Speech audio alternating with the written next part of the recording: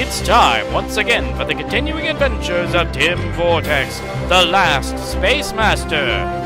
Mary Sue, Episode 1. After receiving word of an imminent alien attack, Tim lands on the roof of the United Nations building.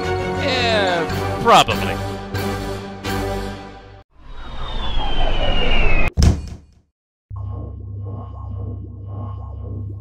Excuse me. Yes? Oh, hello. Uh, is this your spaceship? Yes, impressive, isn't it? Um, it's definitely different. Look, do you think you could move it? It's just that it's parked on my vegetable garden. So, this isn't the roof of the United Nations building? No. The zucchinis are ruined. Sorry. Listen, I'd like to stick around and help, but aliens are about to attack the UN, and it's my job to defend it. Really?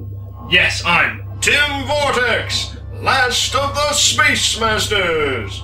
I travel through time and space, defending Earth from alien attack. Hi, Tim. I'm Mary Sue.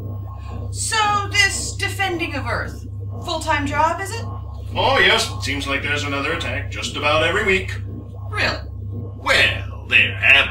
Some long stretches where nothing at all happens, but then it picks right back up again.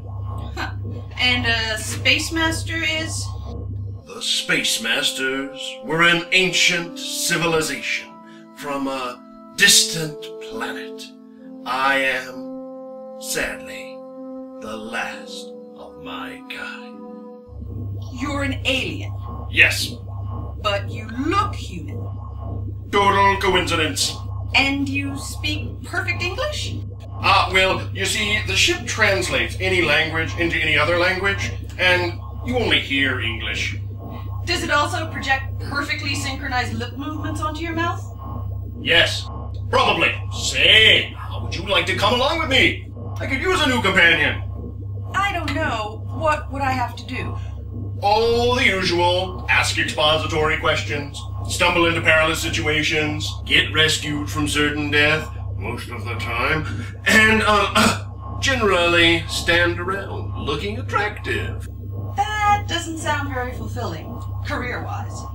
You'll also get to travel to distant and exciting planets. Oh, But most of them look like abandoned rock quarries. huh. Still, distant planet sounds pretty amazing. I'm in. Well, how do you feel about miniskirts? Miniskirts? Or tight sweaters? Listen, I'm not so sure about this. How old are you? 945. Listen, you old pervert, I'm not dressing up for you. Oh, it's not for me. It's for the viewers. Viewers, you're not helping yourself here, bub. My adventures are recorded for posterity.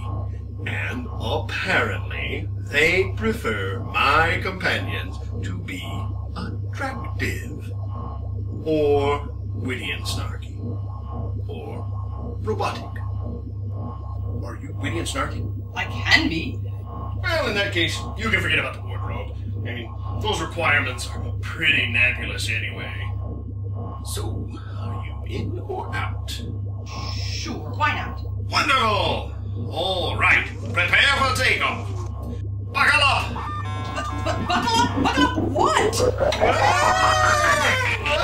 What new adventure awaits Tim and Mary Sue? Will they battle aliens? Visit strange new worlds? Or will Mary Sue turn Tim into the NTSB for operating an unsafe aircraft? All these questions and more will be answered on the next episode of Tim Vortex, the Last Space Master.